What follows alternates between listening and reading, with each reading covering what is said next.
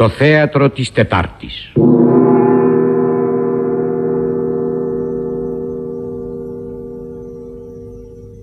Το Εθνικό Ίδρυμα Ραδιοφωνίας παρουσιάζει το πολυθρύλιτο έργο της Πινελόπης Δέλτα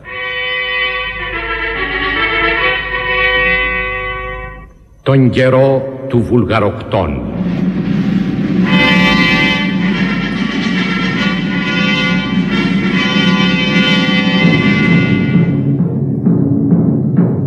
Θεατρική διασκευή και προσαρμογή για το ραδιόφωνο Ιουλίας Ιατρίδη.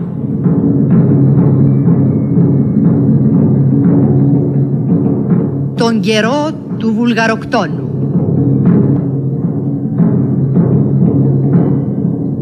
Λαμβάνουν μέρος με τη σειρά που θα ακουστούν οι καλλιτέχνε. Μάκης Ρευματάς ως αφηγητής. Δημήτρης Καλιβοκάς, Βασίλειος. Κώστας Αντορινέος, Δαφνομήλης. Νίκος Γαροφάλου, Ρωμαίος. Ελένη Νενεδάκη, Ευδοξία.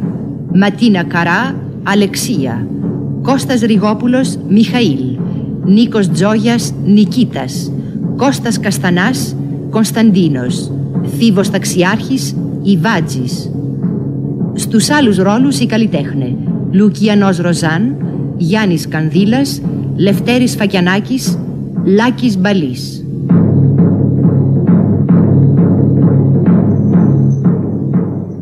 Επιλογή μουσικής Ιφηγένειας Ευθυμιάτου Σπύρου. Επιμέλεια ήχων Δανάης Ευαγγελίου. Ρύθμισης ήχου Στέφανου Ευαγγελίου. Σκηνοθεσία Γιώργου Θεοδοσιάνου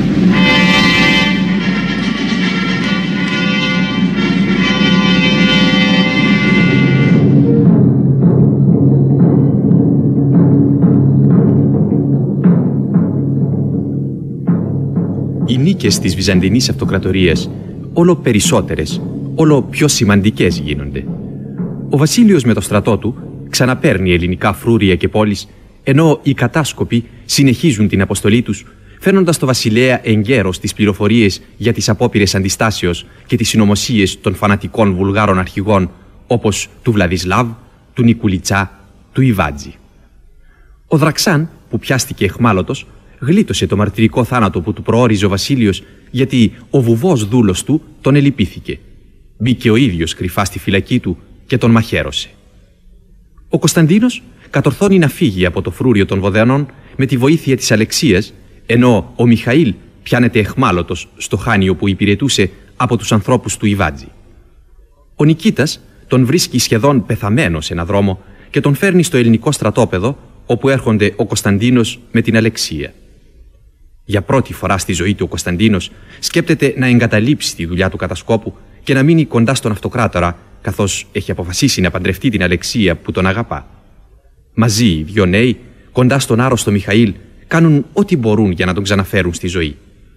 Και η ανάρρωση, αργή, δύσκολη, αρχίζει σιγά σιγά. Ένα βράδυ, ο Κωνσταντίνος λέει στο Μιχαήλ για το σχέδιό του να εγκαταλείψει την κατασκοπία και πριν προλάβει να του μιλήσει για την υπόσχεση που έδωσε στην Αλεξία και την αμοιβαία αγάπη τους, ακούει από το φίλο του να του εξομολογείται ότι αγαπά την κοπέλα από τον καιρό ακόμη που την ενόμιζε βουλγάρα βουβή. Για να μην πληγώσει το φίλο του που είναι τόσο αδύνατος, που πάντα ήταν ο πιο αδύνατος, δεν του λέει τίποτα για τη δική του αγάπη προς την Αλεξία, ούτε για την αποφασή τους να παντρευτούν, παρά φεύγει, εξαφανίζεται. Κανείς πια για πολύ καιρό δεν ξέρει τι απόγεινε ο Κωνσταντίνος.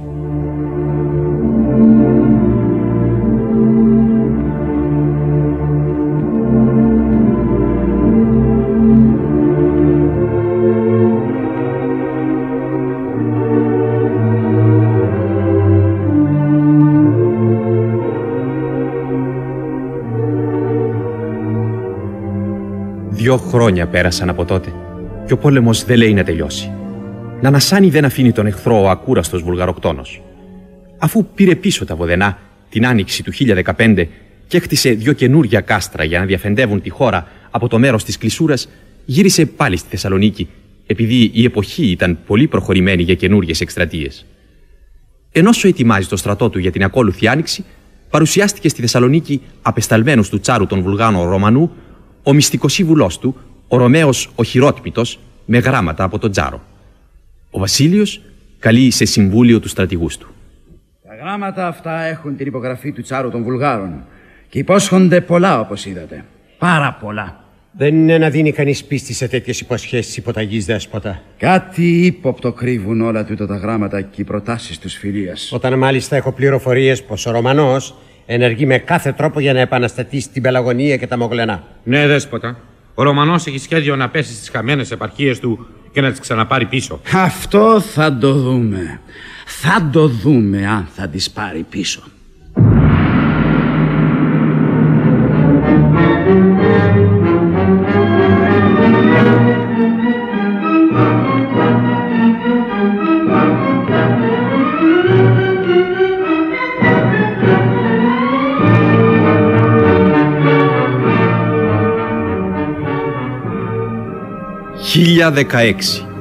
Ο Βασίλειος, αφού έδιωξε περιφρονητικά το χειρότμητο, ξεκινάει με τις πρώτες καλοκαιρίες εναντίον των Μογλενών, αποφασισμένος να μην αφήσει πια τους Βουλγάρους να ανασάνουν. Η εκστρατεία αυτή ήταν από τις πιο ένδοξες και τις πιο αποτελεσματικές. Εμπρός, ο Αυτοκράτορ είχε στείλει τον Νικηφόρο Ξηφία, τον ήρωα του Κλειδίου και τον Κωνσταντίνο Διογέννη, τον κατεπάνω της Θεσσαλονίκης, με εντολή να καταστρέψουν όλη την περιφέρεια των Μογλενών. Ύστερα έφτασε και εκείνος. Και αμέσως άρχισε η πολιορκία του κάστρου, όπου βρίσκονταν δύο από τους γενναιότερους άρχοντες της Βουλγαρίας. Ο Ηλίτζης, στρατηγός των Μογλενών, και ο Δημήτριος Κασκάνος, αποφασισμένοι και οι δυο να κρατήσουν ως το τέλος. Ο Βασίλειος όμως έστρεψε τα νερά που περιτριγύριζαν και προστάτευαν το φρούριο, ύστερα γκρέμισε τους τείχους όπως είχε κάνει και στα Βοδενά. Τέλος, οι υπερασπιστές, βλέποντας πως ήταν πια αδύνατο να διαφεντέψουν τη χώρα τους, αποφάσισαν να παραδοθούν και να ζητήσουν έλεος. Ο Βασίλειος δεν θέλησε τίποτα να ακούσει. Τους μαχήμους όλους τους έστειλε στην Ασία, στα σύνορα της Περσίας και από τον άλλο πληθυσμό που απόμεινε πήρε ό,τι περιουσία είχαν. Έκαψε ύστερα το φρούριο και δεν άφησε άλλο από ερήπια που φαίνονται ακόμη σήμερα. Πέντε μέρες αφού είχε πέσει το φρούριο, παρουσιάζεται πάλι στο ελληνικό στρατόπεδο ο Ρωμαίος ο χειρότμητος με καινούργια γράμματα. Εδώ βλέπω την υπογραφή του Ιωάννη Βλαδισλάβ και μου αναγγέλλει πως ο ίδιος με το χέρι του σκότωσε τον εξάδερφό του, τον Γαβριήλ Ρωμανό, καθώς και τη γυναίκα του, στο Πετρίσκον. Με άλλα λόγια, μένει τώρα ο Βλαδισλάβ, ο μόνος κυρίαρχος της Βουλγαρίας. Μάλιστα, τρανέ Αύγουστε. Ο Βλαδισλάβ σκότωσε το σωτήρα του και μου μεινά εμένα πίστη και υποταγή. Και πώς θα μπορέσω εγώ να πιστέψω έναν τέτοιον άνθρωπο; Τρανότατε και Άγιε Δέσποτα, η, η πράξη του Βλαδισλάβ πρέπει περισσότερο παρά κάθε άλλο να σου αποδείξει την αφοσίωση και την αγάπη του. Το σωτήρα του, όπως λέει η αυτοκρατορική σου μεγαλειότητα, τον σκότωσε με το χέρι του, ακριβώς επειδή ο προδότης Ρωμανός σε γέλασε και πάτησε την πίστη που σου είχε ορκιστεί. Του προδότη αυτού, όπως τον ονομάζεις, ως χθες ακόμα ήσουν εσύ ταπεινός δούλος και κόλακας. Και τώρα γύρισες δούλος του φωνιά του. Σήκω, Ρωμέ, Σήκω και πήγαινε και πες του αφέντη σου πως τα λόγια του τότε μόνο θα τα πιστέψω όταν πλάι στη δική του υπογραφή ειδώ και τις υπογραφές όλων των βολιάδων που έμαθα να εκτιμώ τα ονόματά τους. Πήγαινε. Τους όρους που επιβάλλω θα τους ειδεί ο αφέντη σου στο έγγραφο αυτό. Μάλιστα, δέσποτα. Μάλιστα.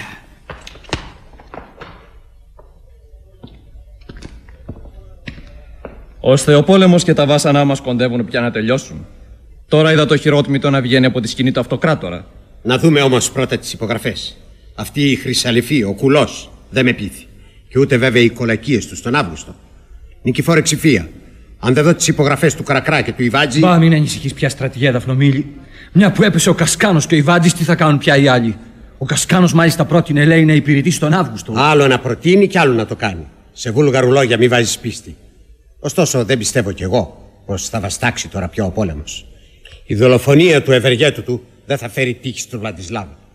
Περιμένετε και θα δείτε. Τελειωμένος πια λογαριαζόταν ο πόλεμος όταν περί τα τέλη Αυγούστου του 1016 που ο αυτοκράτορας ξεκίνησε να γυρίσει στη Θεσσαλονίκη έμαθε πως ο Βλαδισλάβ τον γελά ότι καταγίνεται να σηκώσει καινούρια επανάσταση.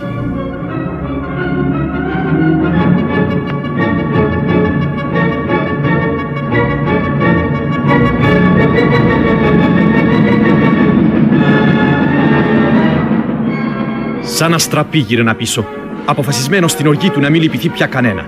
Να μην αφήσει πέτρα πάνω σε πέτρα ο Βουλγαροπτόνο.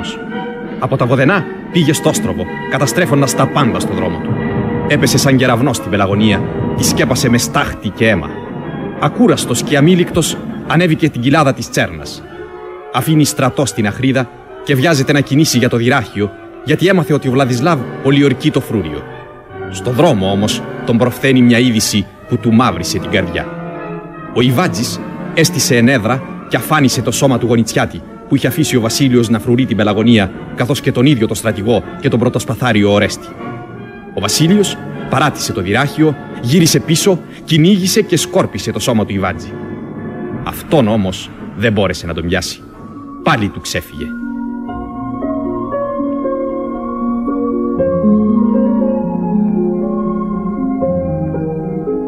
Άνοιξη του 1017 Σε ένα αρχοντικό της Θεσσαλονίκης Δύο γυναίκες κάθονται μπροστά σε ένα πλατή μισανοιγμένο παράθυρο που βλέπει στη θάλασσα. Η μία, νέα ακόμα, με καστανόξανθα μαλλιά και συλλογισμένο πρόσωπο, έχει ρίξει στη ράχη της καρέκλας το μενεξελί πέπλο της χείρας και γοργά στρίβει τη ρόκα της, καθισμένη μπροστά στο ροδάνι της. Είναι η Ευδοξία, η χείρα του Δραξάν. Αντίκριτης, στάσπρα η Αλεξία, στολίζει με χρυσά κεντήματα το επικάλυμα της Ιερής Τράπεζας. Είναι τώρα ως 18 χρονών η Αλεξία, πάντα λεπτή και μικροκαμωμένη. Πλήθος γουρά μαλλιά πέφτουν στους ώμους της και σχηματίζουν ζεστό στεφάνι γύρω στο ευγενικό της πρόσωπο. Στο κεφάλι, μόνο στο λίδι, φορεί ένα χρυσόπλεκτο δικτυωτό σκουφάκι. Το κέντημά της δεν μοιάζει να την ενδιαφέρει και πολύ. Το έχει παρατήσει στα γόνατα και συλλογισμένη κοιτάζει μακριά το πέλαγος που απλώνεται ήρεμα ως πέρα ως τα καταχνιασμένα βουνά. Τι σκέπτεσαι, Αλεξία; Σκέπτομαι... Σκέπτομαι πως αν και τώρα μου πει ο Μιχαήλ πως απέτυχε, θα φύγω κι εγώ μαζί του. Ο Μιχαήλ, ο αδελφός μου, πότε έφτασε; Δεν σου το είπαν ευδοξία. Είναι λίγη ώρα. Μου έφερε ο δούλος του ένα γραμματάκι από το παλάτι. Κάνει, λέει, την αναφορά του στον Αύγουστο και έπειτα θα έρθει εδώ. Λέει αν θα μείνει μέρες. Όχι, δεν λέει τίποτα. Ένα χρόνο. Ένα χρόνο είχε λεξία κοντά μου. Ένα χρόνο από τότε που άφησε το παλάτι που έμενε και προτίμησε να έρθει εδώ. Όλη της τη ζωή και τη ζωή των δυο αγοριών μου τη διηγήθηκε. Όμως γιατί να χαθεί ο Κωνσταντίνος, γιατί να εξαφανιστεί; Αλεξία, Αλεξία. Μίλησες ή μου φάνηκε. Μίλησα καλή μου. Να, ήθελα να σου πω, ελπίζεις ακόμη πως θα έρθει; Τον περιμένεις ακόμη τον Κωνσταντίνο; Ωχ, με συγχωρείς αν σε πόνεσα παιδί μου. Μας παράζει την καρδιά μου κάθε φορά που τον βλέπω. Ποιον ευδοξία; Ποιος σου παράζει την καρδιά; Ο Μιχαήλ. Έχεις δίκιο. Νιώθω πόσο σε πονεί η απουσία του αδελφού σου και τη μοναξιά σου αφήνει κάθε φορά που φεύγει. Το νιώθω από τη μοναξιά που μου αφήνει και μένα. Μόνο που εγώ τον ακολουθώ παντού με τη σκέψη, με την ελπίδα ότι στο τέλος θα τον βρει. Ενώ εσύ δεν σκέπτομαι εμένα όταν σου μιλώ έτσι, χρυσή μου. Εγώ ξέρεις, έχω τα παιδιά μου. Τώρα πια μόνο για αυτά ζω. Μα σκέπτομαι τον Μιχαήλ. Δεν παρατήρησες πως ύστερα από κάθε ταξίδι του, μπορώ να πω ύστερα από κάθε διαμονή του εδώ, ο Μιχαήλ είναι ακόμα πιο λυπημένος. Ακόμα πιο γερασμένος. Δεν τον στέλνω εγώ, ευδοξία. Oh, δεν σου το κατηγορώ, καημένο μου παιδί. Μη βάλεις τέτοιο πράγμα στο νου σου. Αν τον είχες δει τότε, Τότε, σαν ανακάλυψε πως ο Κωνσταντίνος είχε φύγει, νόμιζα πως θα τρελαθεί. Φοβήθηκα πως θα σκοτωνόταν. Αυτός, αυτός ο άρρωστος άνθρωπος που ως εκείνη τη στιγμή ούτε να περπατήσει σχεδόν δεν μπορούσε. Σαν φάντασμα ανεβοκατέβαινε όλη νύχτα την ακροποταμιά, γυρεύοντας το σώμα του Κωνσταντίνου στα νερά του ποταμού, με μόνο μια σκέψη ριζωμένη στο μυαλό του. Πως ο Κωνσταντίνος είχε αυτοκτονήσει. Γιατί έβαλε τέτοια ιδέα στο νου του; Δεν μπόρεσα ποτέ να το καταλάβω. Την άλλη μέρα ανακαλύψαμε πως έλειπε και ο βουβός δούλος. Και μόνος σαν του το είπε ο Νικήτας πίστεψε ο Μιχαήλ πως ο Κωνσταντίνος είχε φύγει. Και τότε, τότε του ήρθε σαν τρέλα. Έπεσε σε παραμιλητά, φώναζε πως εκείνος έδιωξε το φίλο του. Και για μέρες φοβηθήκαμε πως ο νους του έπαθε. Να τον έβλεπες τότε ευδοξία, σε τι μαρασμό είχε πέσει. Σκιά μονάχη είχε μείνει. Τη δική μου τη λύπη την έκρυβα μπροστά του, μην τη δει και χειροτερέψει. Όλη μου τη δύναμη την έβαζα στην προσπάθεια να φανώ ζωηρή, αδιάφορη. Μα ένα βράδυ, ένα βράδυ που νόμιζα πως κοιμόταν, έκλαψα και με είδε. Δεν θα ξεχάσω το πρόσωπό του πως έγινε. Άρπαξε τα χέρια μου και μου είπε άγρια Μην κλαις, δεν το υποφέρω, αύριο θα φύγω, θα τον βρω, θα σου τον φέρω Ήταν η πρώτη φορά που έδειχνε πως είχε μαντέψει το μυστικό μου. Παιδί μου. Και δεν τον εμπόδισα ευδοξία. Για το καλό του τον άφησα να πάει. Μου φαινόταν πως η ιδέα αυτή τον έσωζε. Από εκεί που ούτε να φάει ούτε να μιλήσει δεν ήθελε Ξαφνικά άλλαξε. Ζήτησε του Νικήτα να το συνοδεύσει και μόλις με παρέδωσαν στον Αύγουστο έφυγαν μαζί γεμάτοι ελπίδες. Μα πέρασαν δύο χρόνια. Παντού τον ζήτησε. Μια-μια σβήνουν οι ελπίδες του και οι δικές μου. Όχι, όχι, μην το λες αυτό. Αν ήταν ζωντανός θα γύρισε. Θα γυρίσει πάλι, Αλεξία. Θα γυρίσει. Θα το δεις. Μα γιατί έφυγε; Δεν το μάντεψες ποτέ. Όχι. Και δεν ρώτησες ποτέ το Μιχαήλ. Τον ρώτησα μια φορά. Με κοίταξε μόνο.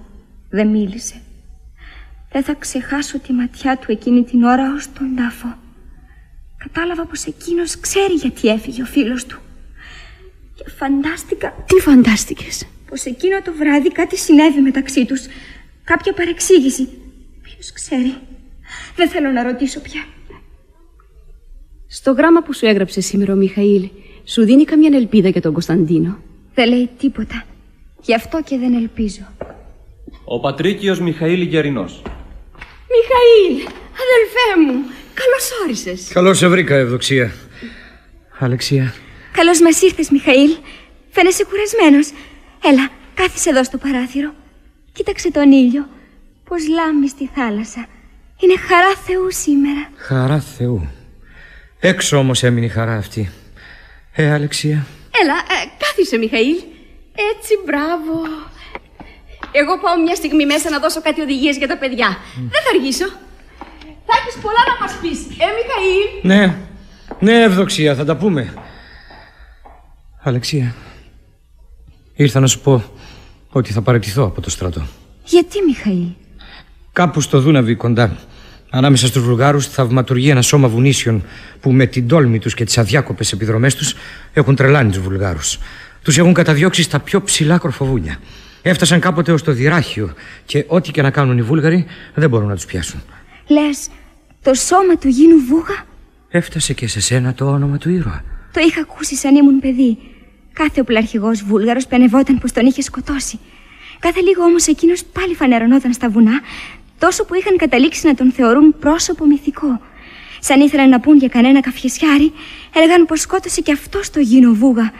Μα κανένας δεν τον έχει δει ποτέ. Ούτε πέρασε ποτέ τον έμο. Ε, τώρα τον πέρασε και τον περνά συχνά. Και με το σώμα του, που είναι όλοι μια χούφτα ήρωες, κατορθώνει να κάνει πράγματα που δεν τολμούν να τα καταπιεστούν ούτε και οι μεγαλύτεροι στρατηγοί μας. Ναι, και κατορθώνει και μαθαίνει μυστικά που σαστίζουν ακόμη και τον αυτοκράτορα. Τον ξέρει ο αυτοκράτορας; Ναι, ο Βούγα του πήγε το μυστικό γράμμα του Ιωάννη Βλαδισλάβ που έπεισε τον αυτοκράτορα πω ο Τσάρος τον γελά. Να. Ώστε τον είδε λοιπόν ο αυτοκράτορας στο γίνο; Σαν τι μοιάζει; Δεν ξέρω, δεν ρώτησα. Θα πάω να ρωτήσω και εκεί, Αλεξία. Πού, Μιχαήλ; Στου γίνου Βούγα. Ίσως ξέρει. Α- αλλού δεν είναι. Ίσως να είναι εκεί. Ναι, ίσως. Να πας, Μιχαήλ. Να πας. Να πας, βέβαια. Μπορεί να είναι εκεί. Μπορεί. Γιατί κάποιος θα έπρεπε να έχει την τόλμη να μπει στη σκηνή του Βλαδισλάβ, να πάρει το γράμμα να το πάει του γίνου. Κάποιος θα έπρεπε σε δύο μέρες να προλάβει από το θέμα του δυραχείου να μηνύσει του γίνου στα βοδενά πω ο Ιωάννης Βλαδισλάβ μαχαίρωσε το γαμπρό του Σαμουήλ και σήκωσε κόσμο στο δυράχιο με την ελπίδα να πάρει με προδοσία το κάστρο. Ξέρω πως κάθε φορά που τον ρωτούν πώς τα μαθαίνει όλα αυτά, λέει πως έχει κάποιον πιστό. Να πας, Μιχαήλ, να πας. Αν υπάρχει καμιά ελπίδα, αν ζει ακόμα, εκεί θα έχει πάει. Στο σώμα του γίνου.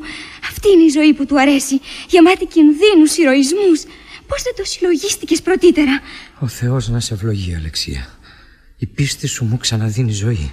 Αν η πίστη μου σου δίνει δύναμη εσένα, Μιχαήλ, τι να πω εγώ για όλα όσα κάνεις εσύ για μένα; Τι δεν σου χρωστώ; Τι δεν σου χρωστώ, Μιχαήλ, αν δεν σε είχα εσένα. Σ- σ- σ- Σώπα. Όχι, μην τα λες αυτά. Άφησέ με να σου τα πω. αν δεν είχα τη βαθιά φιλία σου που σε κάνει και από αδελφό καλύτερο. Στο όνομα του Κωνσταντίνου Σόπα. Μη μιλάς για χρέος. Δεν ξέρεις τι λες, Αλεξία. Ήρθα να σου πω ότι θα παρατηθώ από το στρατό. Ναι, το είπες και πριν. Μα γιατί, Μιχαήλ; Για να είμαι ελεύθερος. Ο Βασιλέας με διόρισε υπασπιστή του για την εκστρατεία του Λογκού. Μα αν δεχτώ, θα είμαι δεμένος όπως ήμουν ως τώρα. Που τόσες φορές στι διάφορες αποστολές όπου έτυχε να με στείλει ο αυτοκράτορας, πέρασα κοντά στο γίνο ή στου δικούς του και ποτέ δεν μπόρεσα να το συναντήσω. Λες και με απέφευγαν. Θέλω τώρα να είμαι ελεύθερος. σα ίσα να μην παραιτηθεί με κανέναν τρόπο. Να φύγεις με τον Αύγουστο. Όταν είσαι υπασπιστής του, είσαι σίγουρος πως θα δεις καμιά φορά το γίνο όταν θα πάει να του δώσει καμιά αναφορά. Πώς ξέρεις εσύ, Αλεξία, πώς και πού θα μπορέσω να τον δω; Το ξέρω από τον Αύγουστο τον ίδιο. Συχνά σαν έχει διάθεση μου διηγείται τα κατορθώματα του γίνου που τον έχουν ενθουσιάσει.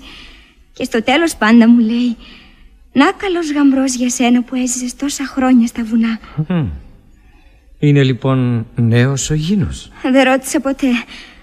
Μα από τα χρόνια που τον ακούω πρέπει να γέρασε πια. Και τι σου είπε ο Αύγουστος γι' αυτόν; Συνεννοηθήκανε μαζί του και συμφώνησαν πως με το λαμπρό σώμα των μετασκόπων και αγγελιοφόρων που κατόρθωσε να διοργανώσει Μπορεί να στέλνει ο γύρος τη ειδήσεις κατευθείαν στον αυτοκράτορα πολύ γρήγορα, όπου και αν βρίσκεται. Ακόμα και, και στη Θεσσαλονίκη και στην πόλη. Και έτσι να ξέρει πάντα ο Αύγουστος ακριβώς που βρίσκονται τα βουλγαρικά σώματα. Και να μην ξαναδούμε πια καταστροφές σαν του Βοτανιάτη στο στενό του Δύσβατου και σαν του Γονιτσιάτη που με τον πρωτοσπαθάριο ορέστη και όλο του το σώμα καταστράφηκε στην ενέδρα του Ιβάτζη. Και του είπε ο Γίνος πώς θα τον ειδοποιεί; Όπου κι αν βρίσκεται, ναι. Παράξενο. Όλα αυτά που σου είπε ένα ο Αύγουστος είναι δυνατόν να μην τα ξέρει ο Νικήτας. Ο Νικήτας, μα τα ξέρει. Τα ξέρει. Τι τρέχει, Μιχαήλ; δεν σου τα είπε. Όχι μόνο δεν μου τα είπε. Μα όποτε μιλήσω εγώ για το γίνο βούγα ή ρωτήσω τίποτα μπροστά του, απαντά σαν να βαριέται να μιλήσει και αλλάζει κουβέντα. Κι όμω, παρόλα αυτά, ποτέ δεν μου έδειξε τόση αγάπη ως εκείνη τη νύχτα. Μην τον συνερίζεσαι. Άλλαξε πολύ και εκείνος από τότε.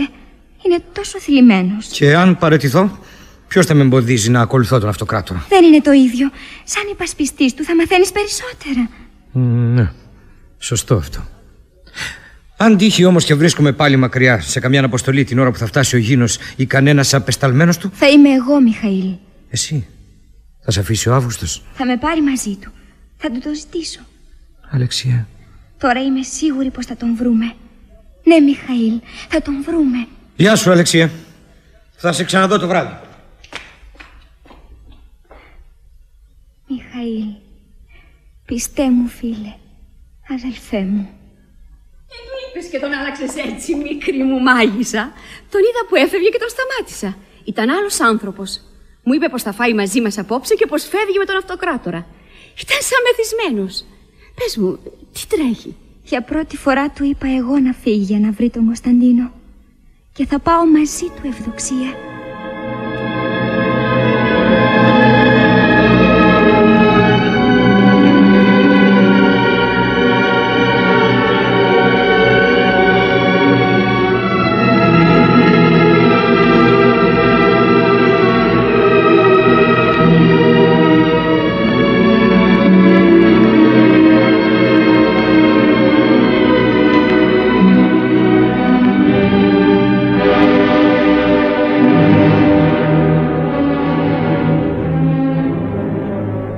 Σε ένα μικρό καμαράκι, πλάι στη μεγάλη αίθουσα όπου ο αυτοκράτορας κάνει τα συμβουλιά του με τους στρατηγούς, περιμένει η Αλεξία. Ο βασιλέας φεύγει σε λίγο για τη Μοσυνούπολη, όπου τον περιμένει ολόκληρος ο στρατός, έτοιμος να ξεκινήσει για την εκστρατεία εναντίον του Λογκού, ένα από τα τελευταία κέντρα των ενυπότακτων Βουλγάρων. Η Αλεξία ήρθε να αποχαιρετήσει τον αυτοκράτορα και συνάμα να ζητήσει οδηγίες για το δικό της ταξίδι. Ένας δούλος σηκώνει την κουρτίνα της πόρτας Κάποιος μπαίνει. Νικήτα, Νικήτα.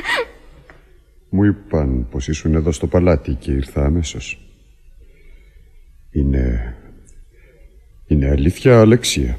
Τι πράγμα, Νικήτα; Παντρεύεσαι; Εγώ, με ποιον; Δεν έχει σημασία με ποιον. Φτάνει που δεν παντρεύεσαι. Μα πώς σου ήρθε να ρωτήσεις; Α, λόγια των χασόλογων. Άφησε τους να λένε. Ακούστηκε πως φεύγεις.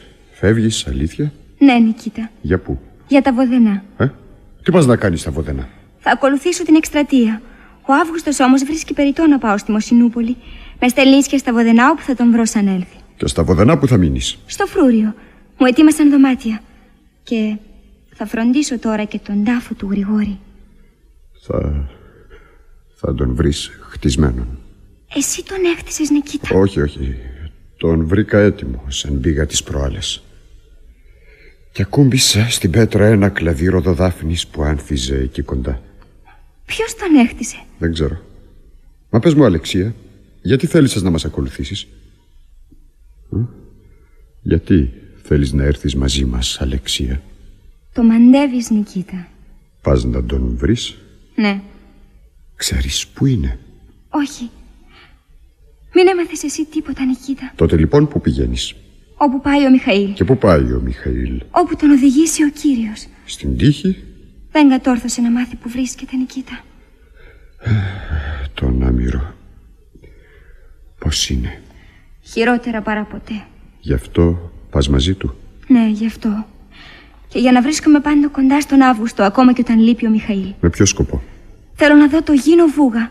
Ε; Και πού τον ξέρεις εσύ το γίνο Βούγα; Δεν τον ξέρω, μα τον ακούω. Ο Μιχαήλος τώρα είχε ατυχία, δεν κατάφερε ποτέ να τον δει. Πάντα έλειπες σαν ερχόταν ο Ήρος. Γιατί θέλετε να δείτε το γίνο Βούγα ο Μιχαήλ και εσύ; Ο Μιχαήλ φαντάζεται πως ο Κωνσταντίνος μπορεί να έχει πάει στο σώμα του. Α, σου ζήτησε ο Μιχαήλ να πας μαζί του; Όχι, εγώ του το πρότεινα.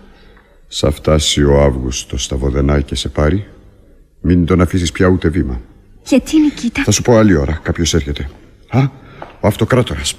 Δέσποτα προσκυνώ. Λέγε, Νικήτα, λέγε γρήγορα τι νέα φέρνεις. Πότε έφτασες; Λίγη ώρα είναι δέσποτα. Ήρθα ίσια εδώ. Είδες τον Δαβίδ Αριανίδη. Ναι, δέσποτα. Είδα το στρατηγό. Έφευγε για τα βοδενά με τον Κωνσταντίνο Διογέννη και σύμφωνα με τη διαταγή σου τραβούνε κατευθείαν στην πεδιάδα της Πελαγωνίας, όπου θα διοργανωθούν για να κτυπήσουν συγχρόνως από όλες τις μεριές τους επαναστατημένους βολιάδες. Α, πόσοι από αυτούς μένουν ακόμα και ποιοι; Είναι κάμποσοι. Ο Ιβάτζη μάζεψε γύρω του πλήθος οπλαρχηγούς που είχαν πάρει τα βουνά και κατέβηκαν πάλι στην Πελαγωνία, όπου ο Νικουλιτσάς τρέχει μεταμφιεσμένος από χωριό σε χωριό, ξεσηκώνει και τους πιο δειλούς και τους πρόχνει στην Επανάσταση. Αν ξαναπέσει ο Νικουλιτσάς στα χέρια μου, θα μου πληρώσει ακριβά τις αμαρτίες του. Αλλά τον Ιβάτζη, τον Ιβάτζη όποιος μου τον φέρει ζωντανό ή πεθαμένο, θα κάνει την τύχη του. Είναι λίγες μέρες που παραλίγο να την πάθει. Ποιος, ο Ιβάτζης. Ναι, δέσποτα. Κάποιος που από μήνες και χρόνια τον κυνηγά, ρίχτηκε απάνω του με μετρημένους άντρες, πετσόκοψε τους ακολούθους του, όρμησε στον Ιβάτζη και χωρίς άλλο θα του έμπηγε το μαχαίρι στην καρδιά. Αν για κακή του τύχη δεν έπεφτε εκείνη τη στιγμή το άλογο του νεκρό. Και πάλι του ξέφυγε ο Ιβάτζης. Μα τον Άι Γιώργη, ξέχασε να μου πεις το όνομα του παλικαριού. Ήταν εκείνος. Ήταν ο Γίνος Βούγας. Ο Γίνος Βούγας. Τον είδες; Τον απάντησα τις προάλλες, δέσποτα. Εκείνος μου έδωσε τις ειδήσεις που σου είπα. Ε, τι λες παιδούλα. Του αξίζει η αμοιβή του παλικαριού, α; Μιας και έρχεσαι μαζί μες στην εκστρατεία αυτή. Δεν παίρνεις και τα νηφικά σου, Στέφανα. Έχω την ιδέα πως δεν θα πει όχι ο γενναίος μου Βούγας όταν δει τη λιγερή που του κρυφοφυλάγω. και εσύ παιδί του βουνού και της ρεματιάς είσαι. Μα, μα τι έχεις; Τι έπαθες Αλεξία; Αύγουστε, σου ζήτησε τη μεγάλη χάρη να σε ακολουθήσω σε αυτή την εκστρατεία και εσύ μου το επέτρεψες. Και στη μεγαλοψυχία σου ούτε καν με ρώτησες γιατί θέλω να φύγω. Μα την αιτία δέσποτα χρωστώ να σου την πω. Είμαι αραβωνιαστική του Κωνσταντίνου Κρινίτη και πηγαίνω να τον ξαναβρω. Θα πας κόρη μου, θα πας. Θα με ακολουθήσεις όπου κι αν πάω. Και θα γυρέψουμε τον άξιο γιο του γενναίου μου κατεπάνω ώσπου να τον βρούμε. Έλα, έλα στην αγκαλιά μου κόρη μου. Έτσι. Μη στεναχωριέσαι, θα τον βρούμε. Το ένα παλικάρι δεν πρέπει να μας κάνει να ξεχνούμε το άλλο, ε. Θα τον βρούμε τον αραβωνιαστικό σου. Και όπου τύχει και είμαστε, εγώ με το χέρι μου θα σας στεφανώσω. Εγώ με το χέρι μου. Νικήτα, σε σένα αναθέτω τη φροντίδα να τον βρεις. Ωστόσο, δώσε διαταγή να ετοιμάσουν ευθύ το φορείο της πατρικίας Αλεξίας Αργυρής. Θα έρθει μαζί μας στη Μοσυνούπολη. Μάλιστα, δέσποτα. Μάλιστα.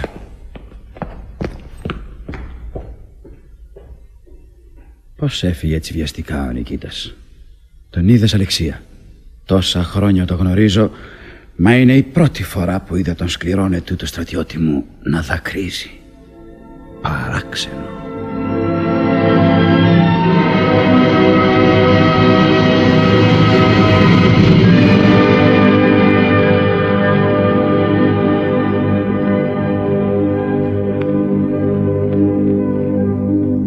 Με τη συνηθισμένη του γρηγοράδα ο Βασίλειος ξεκίνησε από τη Μοσινούπολη, έφτασε στο Λόγκο, πολιόρκησε και πήρε το κάστρο, το κατέκαψε και τους εχμαλώτους τους μοίρασε δούλους στους στρατιώτες του.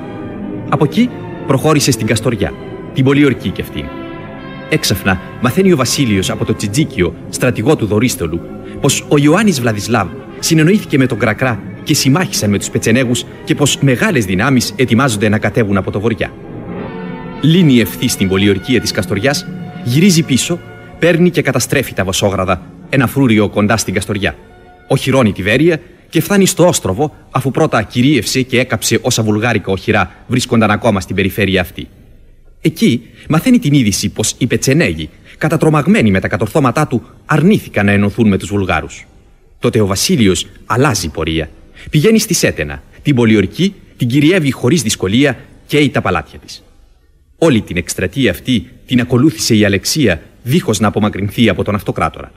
Πότε, κατά διαταγή του, την κουβαλούν οι δούλοι στο χρυσωμένο φορείο με τις μεταξωτές πολύχρωμες κουρτίνες, πότε καβάλα στο πλάγι του βασιλέα πηγαίνει η πατρικία, ενώ πίσω της ακολουθούν οι γυναίκες της συνοδείας της. Μελαγχολικά κοιτάζει η Αλεξία τα μέρη που περνάει, ενώ συλλογίζεται. Να, να το ποταμάκι όπου είχα καρφώσει στο κλαδί το μήνυμα για το Μιχαήλ. Πιο εκεί, ίσια στον ανήφορο, είναι η καλύβα. Πιο κάτω στην όχθη του άλλου ποταμιού είχα βρει τον Κωνσταντίνο χτυπημένο. Έτρεχα λεύτερη τότε και ήξερα το κάθε χαλικάκι, το κάθε δέντρο. Ήλπιζα η βουβή βουλγάρα ήλπιζε. Σήμερα η πατρική Αλεξία Αργυρή με όλη της τη συνοδεία στο πλευρό του μεγάλου αυτοκράτορα γεμάτη τιμές. Τι ελπίζει Ού να μπορούσα να ξεφύγω να μείνω μόνη να ρηχτώ εκεί στην ακροποταμιά να κλάψω, να κλάψω, να κλάψω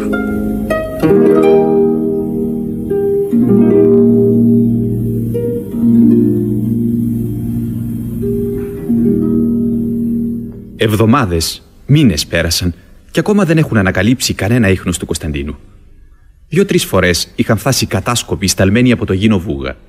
Ο ίδιος όμως ο Γίνο δεν είχε έρθει ποτέ στον αυτοκράτορα. Κάθε φορά που ο Μιχαήλ ρωτούσε τους κατασκόπους αν μεταξύ τους βρισκόταν κανένας με το όνομα Κρινίτης, αυτοί του έλεγαν όχι. Τέτοιο όνομα δεν είχαν ακούσει. Ωστόσο η Αλεξία δεν αποθαρρύνεται ολότελα.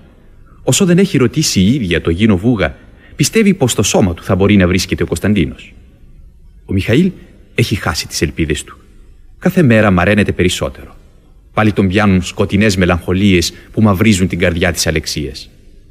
Τώρα βρίσκονται καθισμένοι στο ιδιαίτερο διαμέρισμα που με πλούσια περσικά χαλιά και μεταξωτά υφάσματα τις έχουν φτιάξει μέσα στη βασιλική σκηνή.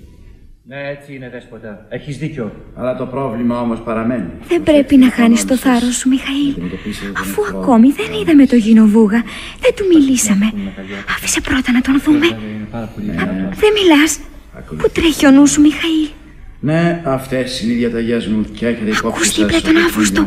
Τα περισσότερα πόσα λέει ακούγονται. Αυτή η κουρτίνα μόνο μας χωρίζει. Λίγο να υψώσει τη φωνή. Μιχαήλ, Μιχαήλ, γιατί δεν μου αποκρίνεσαι; Πες μου τουλάχιστον τι σκέπτεσαι.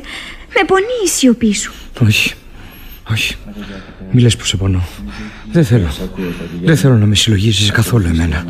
Κάνε σαν να έχω βγει κιόλας από τη ζωή σου. Τι θέλεις να πεις, Μιχαήλ; Θυμάσαι τον πάτερ Ευθύμιο, το γέρο ηγούμενο που με περιποιήθηκε στο φρούριο του Οστρόβου; Ναι, βέβαια τον θυμάμαι. Που τον συλλογίστηκες τώρα. Ήρθε σήμερα εδώ. Τον ζήτησες εσύ; Ναι. Σα γυρίσεις στο μοναστήρι θα πάω μαζί του. Εσύ; Θα πας μαζί του; Θα γίνεις μοναχός; Ναι, ναι Αλεξία. Μιχαήλ, έχεις κι άλλη λύπη στην καρδιά και δεν μου την είπες ποτέ. Κι εγώ ούτε μπόρεσα να τη φανταστώ ως τώρα. Το μυστικό σου αυτό δεν μπορείς να μου το εμπιστευτείς. Δεν μιλάς. Θεέ μου, γιατί με κοιτάς έτσι; Μιχαήλ Γερινέ, ο Αύγουστος σε ζητά. Ο αγώνας που αντιμετωπίζουμε είναι ισχυρός και δύσκολος, αλλά πρέπει να αγωνιστούμε. Με ζήτησες Αύγουστε. Μιχαήλ Γερινέ, πάρε 50 οπλίτες και πήγαινε στο Δυράχιο. Εκεί θα δώσεις του στρατηγού το γράμμα αυτό. Τις διαταγές μου θα σου τις διαβιβάσει ο Ευστάθιος Δαφνομήνης. Θα φύγεις αμέσως με το μικρό σώμα που σου είπα και με μεγαλύτερες δυνάμεις θα σε ακολουθήσει ο Κωνσταντίνος Διογέννης. Η αποστολή που σου αναθέτω είναι εμπιστευτική και δύσκολη. Οι εχθροί κόβουν το δρόμο. Μα ξέρω την αυτοθυσία που σε χαρακτηρίζει και γι' αυτό σου την αναθέτω. Πρέπει να μπει στο κάστρο πριν φτάσει ο Βλαδισλάβ στο Δυράχιο.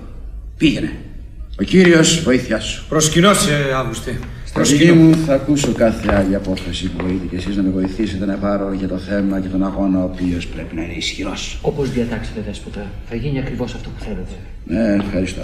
Εσύ, στρατηγή. Δέσποτα, ο γύρο Βούγκα θέλει να σε δει. Ναι, πες του να περάσει. Άκουσε την κοίτα. Μία λεξία, μην κουνιέσαι, στάσου εδώ. Μην πας μέσα. Ανικίτα. Ισχυρός. Μα μην μιλάς σιωπά. Έλα, λέγε, λέγε γρήγορα, Βούγα. Έρχεσαι από το Δούναβι. Δέσποτα, δεν έρχομαι από το Δούναβι, αλλά από τον Αξιό. Ο Ιωάννης Βλαδισλάβ είναι κοντά. Νικήτα. Νικήτα, αυτή η φωνή. Μόλις χθες μας ήρθε η είδηση πως ο Βλαδισλάβ γερνά βιαστικά για το διράχη. Ναι, δέσποτα, μα χθες άλλαξε πορεία και διευθύνεται στη Σέτενα. Ο Κρακράς τον έσμιξε με όλους τους βουνίσκιους που σέρνει πίσω του και με τις δυνάμεις του όλες θα πέσουν στο στρατό μας, που το νομίζουν ανέτοιμο και απληροφόρητο.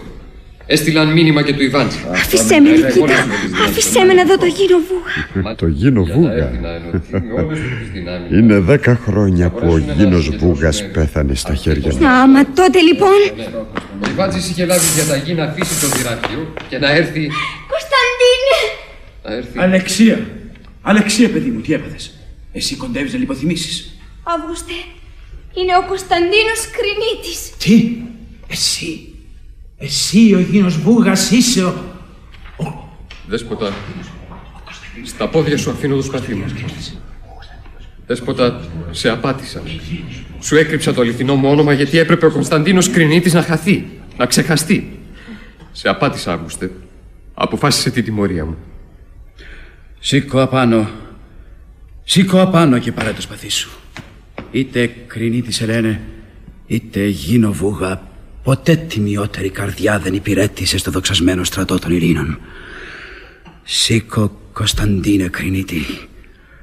Ευχαριστώ τον Κύριο που μου έδωσε την ευκαιρία να σφίξω στην καρδιά μου το γιο του πιστού μου κατεπάνω. Έλα γέ μου, έλα στην αγκαλιά μου. Αλεξία, έλα και εσύ παιδί μου. Σου έδωσα μια υπόσχεση κάποτε. Σήμερα θα την εκτελέσω. Για την ώρα πάρε το δαχτυλίδι αυτό που βγάζω από το δάχτυλο του Κωνσταντίνου Κρινίτη. Φόρεσέ το εσύ. Τούτο είναι το σύμβολο του γάμου σας. Έτσι. Τώρα μπορώ να πω ότι είμαι ευχαριστημένος. Δέσποτα, δέσποτα μια χάρη ζητώ ακόμα από τη μεγαλοψυχία σου. Πριν θεωρήσεις τον αραβόνα τελειωμένο, ευδόκησε να επιτρέψεις της αραβωνιαστικής μου να με ακούσει ιδιαίτερως λίγα λεπτά. Καλά, αφού το θέλεις, εκεί μέσα στο διαμέρισμα της Αλεξίας μπορείς να της μιλήσεις χωρίς να σας ανησυχήσει κανείς. Ευχαριστώ. Ευχαριστώ, Αύγουστε.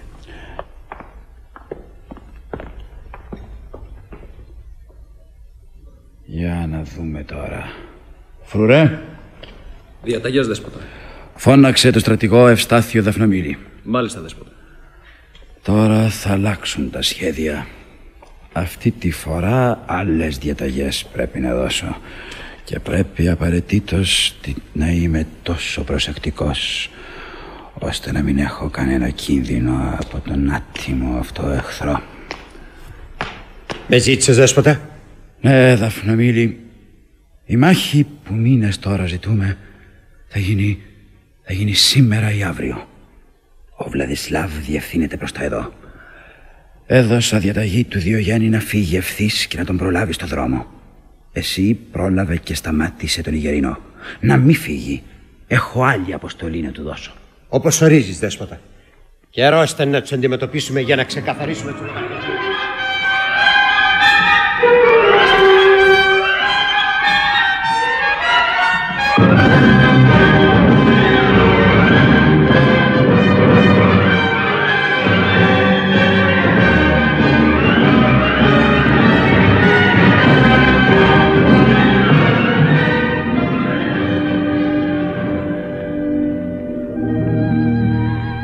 Αλεξία, τι υπόσχεση σου έκανε ο Βασιλέας Να...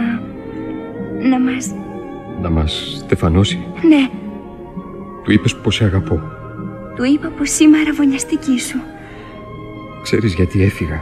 Όχι, Δεν σου το είπε. ποιος; Ο Μιχαήλ. Το ξέρει λοιπόν εκείνος.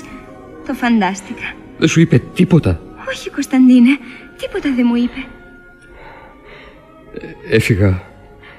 Έφυγες; Μα λέγε λοιπόν. Έφυγα γιατί σε αγαπά και εκείνος. Ο Μιχαήλ; Μ' αγαπά ο Μιχαήλ. Δεν το είχες καταλάβει. Όχι; Και δεν σου το είπε; Όχι, όχι Κωνσταντίνε, δεν μου το είπε. Αλεξία, δύο χρόνια δεν σταμάτησε να με γυρεύει. Σαν το κυνηγημένο αγρίμι έφευγα από μπροστά του. Κρυβόμουν. Κατάφερα ως τώρα να μην με δει. Εγώ όμως τον είδα. Είναι λίγη ώρα. Τον ξαναείδα που βγήκε από τη σκηνή του αυτοκράτορα. Μίλησα και με τον πάτερ Ευθύμιο. Μου είπε για ποιο λόγο ήρθε εδώ. Εσύ, Αλεξία, που βλέπεις τον Μιχαήλ κάθε μέρα, το νιώθεις βέβαια. Όπως το νιώθω κι εγώ, πως δεν μπορεί να ζήσει δίχως χαρά. Πως την έχει ανάγκη όσο και τον αέρα που αναπνέει. Να του πάρω εγώ τη γυναίκα που αγαπά, δεν θα το κάνω ποτέ. Ποτέ. Αλεξία, δώσε του λίγη ευτυχία. Κωνσταντίνε, Κωνσταντίνε στάσου. Έχει το θάρρος να μου πεις την αλήθεια. Δεν μ' αγαπάς πια. Ναι, θα έχω το θάρρος να σου πω την αλήθεια, Αλεξία. Σ' αγαπώ. Σ' αγαπώ όπως τότε. Και εσύ θα έχεις το θάρρος να κάνεις παλικαρίσια εκείνο που πρέπει. Θα χωριστούμε. Μα Κωνσταντίνε, θα ρίς πως είμαι πέτρα. Ύστερα από αυτό που μου είπες, πώς να βρω το θάρρος που μου ζητάς; Και εσύ πόνεσες. Το βλέπω από το πρόσωπό σου.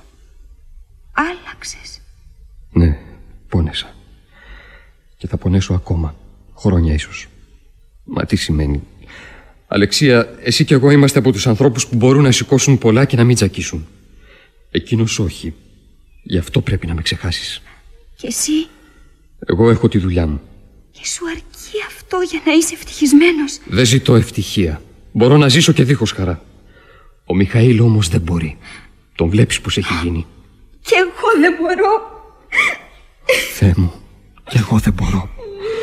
Και θα ήταν τόσο πιο εύκολο, τόσο πιο όμορφο να, καθώς κλαίει, να την πιάσω στην αγκαλιά μου, να της πω «Όχι, θα κάνω αυτό που πρέπει». Κωνσταντίνε. Όχι, Αλεξία, όχι δάκρυα, όχι. Πρέπει να μπορέσεις, πρέπει. Γιατί τότε δεν θα άξιζε τον κόπο να φύγω για να ξαναγυρίσω σε δύο χρόνια και να σε πάρω. Από τότε, ανάμεσα στους τρεις μας δεν άλλαξε τίποτα. Ούτε έφυγα τότε από θυμό ή πείσμα. Έφυγα γιατί είπα ότι από τους τρεις μας δυο ήταν οι πιο δυνατοί. Στους δυνατούς ο Σταυρός αφού μπορούν να τον βαστάξουν. Δεν θα μπορέσω να παντρευτώ άλλον. Τώρα όχι. Ίσως όμως αργότερα. Σαν περάσουν χρόνια. Δεν θα σε ξεχάσω ποτέ. Κι εγώ. Κι εγώ δεν θα σε ξεχάσω ποτέ. Κι όμως δεν θα σε πάρω ποτέ. Ποτέ. Το, το δαχτυλίδι σου πάρε το. Αφού δεν... Ό- όχι, κράτησε το. Ή- ήταν της μητέρας μου. Ήταν της μητέρας μου. Έχει για Αλεξία. Να το ξέρεις, όποτε κι αν είναι, όπου κι αν είσαι, να το ξέρεις. Πάντα θα σε περιμένω. Πάντα, πάντα.